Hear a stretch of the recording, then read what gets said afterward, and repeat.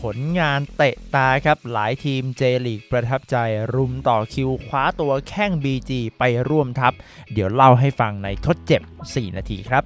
Suzuki Swift Power You Up Sport Eco Car เต็มพลังกับเครื่องยนต์หัวฉีดคู่ Dual Jet ตอกย้ำความนิยมนับตั้งแต่เปิดตัวในไทย โดยยอดขายกว่า 140,000 คัน สัมผัสด้วยตัวคุณเองได้แล้วที่โชว์รูม Suzuki ทั่วประเทศ หรือเว็บไซต์ suzuki.co.th ดูท่านอกจากสุภโชคสารชาตินะครับ กับเวียรเทพป้อมพันธ์ที่แฟนบอลไทยน่าจะได้เห็นแข้งไทยรายอื่น ตามไปเจลีกเพิ่มอีกนะครับ เพราะว่าหลังจากที่ BG ปทุมรองแชมป์ไทยลีกซีซั่นล่าสุด ได้ไปฝากผลงานสุดแจ่มไว้ใน ACL เลยครับ ด้วยการเป็นแชมป์กลุ่ม G เข้ารอบน็อกเอาท์ผลงานก็เตะตาทั้งบรรดาเอเย่นแล้วก็หลายทีมในเจลีกครับ จนบางทีเนี่ยเริ่มส่งเอเย่นมาติดต่อพูดคุยเบื้องต้นกับ BG เลยนะครับ เพื่อหวังดึงแข้ง The Rabbit บินไปค้าแข้งในญี่ปุ่น คลิปนี้จะพาไปดูว่า 3 แข้งที่ทางเจลีสนใจและสายข่าวให้ข้อมูลมาเนี่ยมีใครกันบ้าง เริ่มต้นที่มิกกี้ปฐมพลเจริญรัตนาพิรมครับ ตัวรุกสุดผิวจาก BG ที่ในเวทีเอเชียกับกลายเป็นผลงานสะแดวเลยครับ 6 นัดทำไป 2 ประตู 3 assist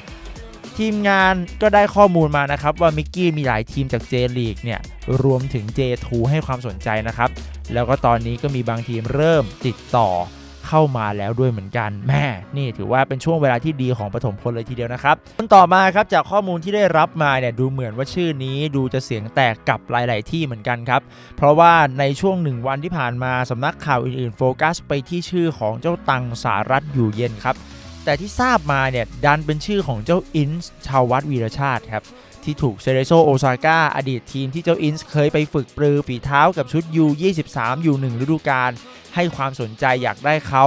อยากได้เขาเนี่ยที่ทำไป 3 ประตูกับ 6 assist ในลีก กลับไปร่วมงานอีกครั้งในทีมชุดใหญ่ แล้วก็มากันที่คนสุดท้ายนะครับ ที่มีทีม J League สนใจเช่นกัน นั่นก็คือเจ้ายิมวรชิตครับ ที่มีทีมนิรนามยังไม่เปิดเผยชื่อเล็งอยู่จ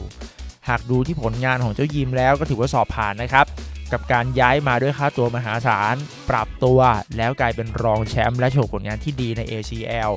แม้ผลงานกับ BG ที่เพิ่งปรับตัวในช่วงท้ายเนี่ยแต่ผลงานโดยรวมในลีกเนี่ยยิมเองก็ทำไปถึง 10 ประตูกับอีก 6 assist นะครับ แบ่งเป็น 8 ประตู 4 assist ในสีเสื้อชลบุรี แล้วก็ 2 ประตู 2 assist ในสีเสื้อ BG และผลงานในการลงเล่นบอลถ้วย ACL ก็จัดไปอีก 1 ประตู 1 assist เช่นกัน ทีนี้มาดูรายละเอียดกันหน่อยครับ เอาเป็นว่าในดีลของปฐมพลและวรชิตนะครับ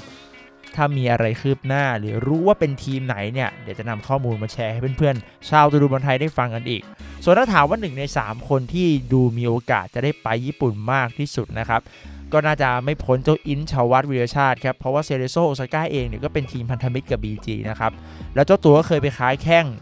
จากการดีลกันของทั้งสองทีม ซึ่งดูจะเป็นไปได้ง่ายที่สุดครับ ส่วนอีก 2 คนก็ต้องมาลุ้นกันนะครับ ว่าจะเป็นยังไง เพราะว่าในสควอต TBG เองเนี่ย ตามแผนการเสริมทัพเดิมนะครับ ก็ต้องการคนมาเพิ่มในตำแหน่งของทั้งคู่อยู่แล้ว หากต้องปล่อยคนใดคนหนึ่งออกไป น่าจะทำให้ BG เนี่ยลำบากเหมือนกันครับ ส่วนในมุมของข่าวอย่างสารัฐอยู่เย็นเนี่ยนะครับ ไว้เราจะลองสอบถามเพิ่มเติมครับ แล้วเอามาอัปเดตให้ฟังกัน แต่ในความคิดแรกเลยนะครับ คิดว่าโอกาสของสารัฐเองเนี่ย ในการไปญี่ปุ่นตอนนี้เนี่ยก็ค่อนข้างที่จะมีน้อยลงนะครับ เพราะว่าสิ้นเดือนนี้สารัฐอยู่เย็นกับการที่จะมีอายุครบ 30 ปีเนี่ยถึงเราจะรู้กันว่าเจ้าตังเนี่ยพร้อมแน่ๆครับถ้ามีโอกาสได้ไปเล่นต่างแดน แต่อีกตัวแปรสำคัญครับที่คิดว่าจะทำให้เจ้าตังสารัฐเนี่ยเลือกค้าแข้งในไทยต่อไปนั่นก็คงเป็นเรื่องของครอบครัวนะครับเจ้าตัวเองก็มีลูกชายอย่างน้องตุลที่เพิ่งจะมีอายุเพียง 1 ขวบ 7 เดือน การจะให้ไปเริ่มต้นใหม่ตอนนี้เนี่ยอาจจะไม่ใช่ช่วงเวลาที่เหมาะสมกับจังหวะเวลาสักเท่าไหร่ แต่อะไรอะไรก็เกิดขึ้นได้นะครับ แฟนบอลก็ต้องตามกันต่อไป ถามมุมมองผมเนี่ยแน่นอนแหละครับว่าการได้ไปเนี่ยเป็นเรื่องดีๆแน่ๆครับ แต่จังหวะเวลาของสารัฐอยู่เย็นเนี่ยผมว่าตัวแปรนี้ขึ้นอยู่กับเจ้าตัวแน่ๆนะครับ ว่าจะลุยหรือไม่ สุดท้ายเพื่อนๆคิดยังไงกับการที่หลายทีมในญี่ปุ่น เริ่มแสดงความต้องการหลังจาก จบฤดูกาลทันทีครับ กดบัตรคิวรอเจรจา BG ปทุมกันไปแล้วกันนะฮะ คิดว่านักเตะคนไหนพร้อม คุณอยากให้ใครไป คอมเมนต์มาพูดคุยกันครับ แต่ที่แน่ ๆ หลังจากนี้ติดตามดิวของซัปโปโรกับนักเตะไทยให้ดี ทั้งหมดนี้คือทดเจ็บ 4 นาทีครับ